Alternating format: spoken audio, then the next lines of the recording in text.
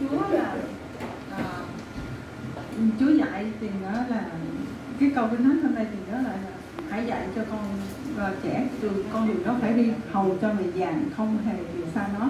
Thì cái lòng đó lúc nào thì cứ tôi mang trong lòng của mình đó lên khi mà gặp ừ, con mình nhắc lời làm tiếng đi mình lên làm tiếng đi con nói mẹ nói làm tiếng gì gì nó nói làm tiếng gì con. Đó là cái gì? Mình ờ, ở, ở hồi mấy tuần trước một sư cũng có nhắc nhở là mỗi ngày đời sống của mình đó giống như là một ừ, cái hội thánh nhỏ trong gia đình. Thì, thì lúc nào cũng những cái cái lòng của mang là làm sao con mình chồng mình gia đình mình được lớn mạnh cho Chúa để những cuộc ngày lần hơn á.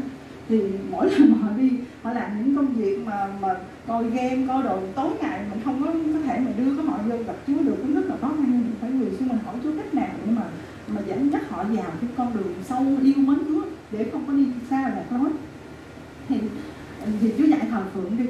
Đúng là mỗi đêm là lúc nào cũng tới 8 giờ tới 9 giờ là giờ thờ phượng của gia đình mỗi ngày. Nhưng mà gia đình khao khát hơn nữa là có giờ học kinh thánh chung nữa, họ yêu thích học nhưng mà lâu lâu thì có thời gian thì vô được mà bình thường thì không có được. Mỗi điều thường xuyên.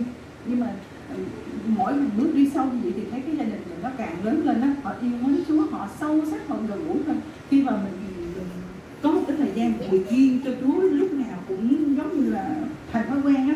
Thì mình cảm thấy một cái, cái sự thờ sự ngọt ngào với Chúa nó sâu rồi con mình chồng mình nó cũng lớn mạnh. Nhưng mà nói về Chúa thì lòng của họ yêu Chúa sâu sắc hơn. Cái cảm giác nó gần gũi hoặc cái đó là sự sống thật sống thật ở trong Chúa nên phải tập huấn luyện mỗi ngày. Dù có bận cái mấy cũng đừng bao giờ bỏ cái thời gian mình dành cho Chúa.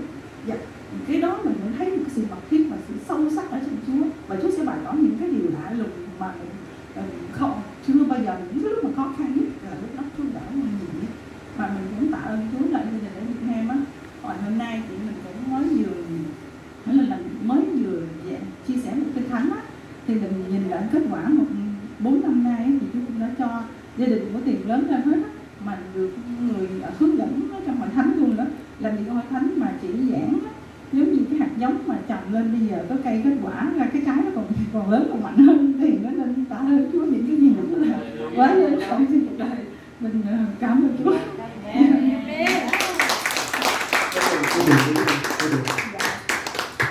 Cô tiền cô là tin Chúa hồi năm mấy Năm 28 tuổi năm nay còn bốn năm à, 28 44 là 16 năm rồi. Dạ. và khi lúc mà Tuyền tin Chúa thì trong gia đình là bao nhiêu người? Trong gia đình gần của mình đó là bao nhiêu người tin Chúa lúc đó trước đó? Chưa có ai tin Chúa. Tuyền là người đầu tiên tin Chúa trong gia đình. Mà ngay hôm nay còn ai trong gia đình chưa tin Chúa không?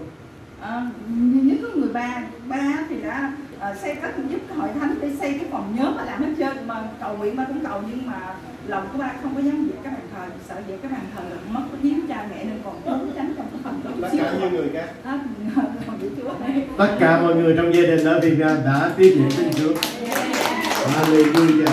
Một người tin thì cả nhà được cứu